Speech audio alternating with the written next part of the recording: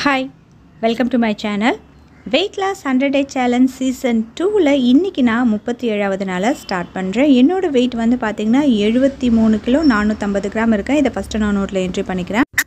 என்னோட சேர்ந்து நீங்களும் உங்களோட வெயிட் லாஸை எந்த ஒரு சைட் எஃபெக்ட்டும் இல்லாமல் ஆரோக்கியமாக குறைக்கணும் அப்படின்னு நினச்சிங்க அப்படின்னா ஸ்க்ரீனில் தெரியக்கூடிய வாட்ஸ்அப் நம்பருக்கு உங்களோட பெயர் வயசு ஹைட் வெயிட்டு டைப் பண்ணி அனுப்பி டீட்டெயில் கேட்டு நீங்களும் என்னோட சேர்ந்து வெயிட் லாஸ் பண்ணலாம் வாங்க. இந்த வெயிட் லாஸ் ஜர்னியில் இன்றைக்கி நான் என்னென்ன ஃபுட் எடுத்துக்கிட்டேன் அப்படின்றத உங்களோட நான் ஷேர் பண்ணிக்கிறேன். இன்றைக்கி மார்னிங் வந்து பார்த்திங்கன்னா லெமன் கிராஸ் டீ தான் ஒரு டம்ளர் நான் எடுத்துக்கிட்டேன். மார்னிங் பிரேக்ஃபாஸ்ட்டுக்கு வந்து பார்த்திங்கன்னா ராகி இட்லியும் பூண்டு சட்னியும் எடுத்துக்கிட்டேன். ராகி இட்லி வந்து பார்த்திங்கன்னா ரெண்டு இட்லி எடுத்துக்கிட்டேன்.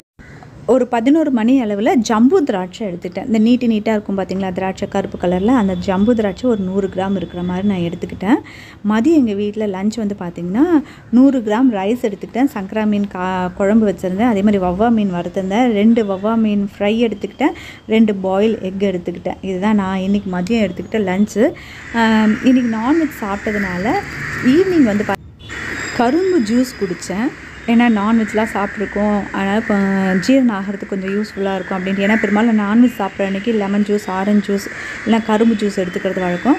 அதனால் வந்து கரும்பு ஜூஸ் எடுத்தேன். நார்மலாகவே கரும்பு ஜூஸில் வந்து நமக்கு லெமன் புழிஞ்சு கொடுப்பாங்க. ஏன்னா கரும்பு கொஞ்சம் சூடு அப்படின்றதுனால லெமன் புழிஞ்சு கொடுப்பாங்க.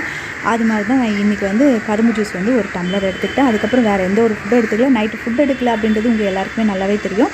படுக்கிறதுக்கு முன்னே வந்து பார்த்திங்கன்னா ஜீரா வாட்டர் குடிச்சிட்டு இன்றைக்கி என்னோடய டயட்டை வந்து நான் கம்ப்ளீட் பண்ணியிருக்கேன். இன்றைக்கி மார்னிங் மட்டும் ஒரு ஆஃப் அன் ஹவர் வந்து ஒர்க் அவுட் பண்ணேன்.